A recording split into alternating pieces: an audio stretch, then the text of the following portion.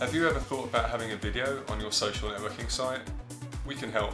As well as helping businesses and corporate clients with their video requirements, we're also helping individuals create a professional image on the web. We're trying to make professional video content more accessible for everybody. People can use a cameraman to, to improve their video profiles. Everybody is going to be projecting themselves with video content in the very near future. Going to get a quality product at a competitive price.